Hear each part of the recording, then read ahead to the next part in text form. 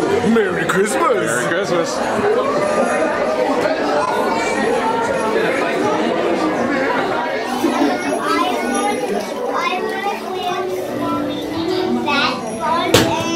I want you because I wouldn't want to go back.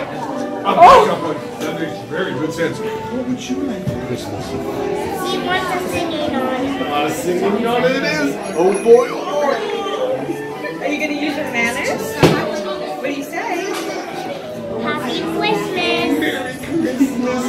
Christmas to you both. I hope you have a wonderful holiday season. We'll try to still be good though, even though we talk. Yeah, yeah. You've been good all season. The whole season? Yes. Wait a minute, wait a minute. Was anybody trying to be scary at Halloween? Yeah. You would be scary at Halloween? Santa knows everything. He would have been Batman and Anna. Okay, Batman's a hero. That's okay.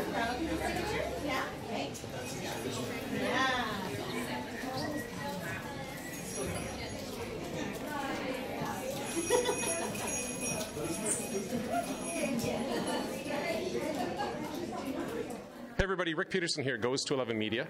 We are down in Vancouver, British Columbia at Hycroft Manor today, and I'm joined with Margaret Emery, and you're the chair of Christmas at Hycroft. That's correct, Chris. Yes. So we're here covering off on your uh, Christmas at Hycroft event. Been here before, and it's spectacular. Lots of vendors and really cool attractions. But can you tell us some history about uh, the, the event? Well, I know you came at a timely uh, moment here because Santa Claus just arrived, but uh, the event has been going on for 46 years, we're happy to say, and um, it is the main fundraising event for Hycroft. Uh, this is a heritage home, and we have uh, Hycroft Heritage Foundation to uh, raise money to preserve the property.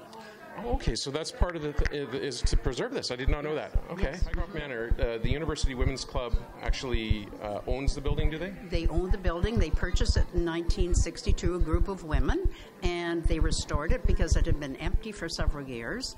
Originally, it had been um, built by the McRae family, who lived in it for several years, and uh, Mr. McRae sold the house to the government uh, during the war to use as a veterans hospital. Right now, he was was he uh, Governor General, I believe, wasn't he? He was, yes. He had a very distinguished career in BC and within Canada, and um, his family actually have come back since then uh, on, a, on occasion and uh, had a little celebration with us. So it's uh, yeah, a very joyous time. Yes. Now, I know that typically the, the home is not open for just regular uh, viewing or tours or any of that sort of event, is it? Well, we have on occasion tours that do we arrange, and so we do invite the public in on many occasions. Oh, very good. Very Yes. good, yeah. No, it's spectacular. I uh, I love the decor and uh, and when you look at because it's very vintage. Yes. Uh, and so it's a real throwback to the, the old ways, right? Well, it is, and it's been kept up to uh, keep that look and with original furniture, original uh, walls and paintings and things like that. And people in the community have been very generous about contributing and giving back to the house if they owned a piece of Hycroft, which um, uh, when Mr. McRae sold the property, he sold off all the contents. So people who purchased those contents have actually given some of them back to us. Oh, that's really cool. Isn't that neat? That's very yeah, yeah. So now your event here for the Christmas at Hycroft is Yes. running through till this Sunday. It runs till uh, every day. Uh, today's Thursday. Uh, it runs tomorrow on to, from 11 to 9, Saturday 11 till 9, and Sunday 11 till 6. Okay. And admission fee is what? Adults are $15, and children under the age of 12 are free. Guys, come on down, check it out. Definitely worthwhile. It gets you in the spirit of Christmas, and we wish you a Merry Christmas as well. All right, Merry Christmas to you, and thank you very much. Thank you, Margaret. All right. See you guys.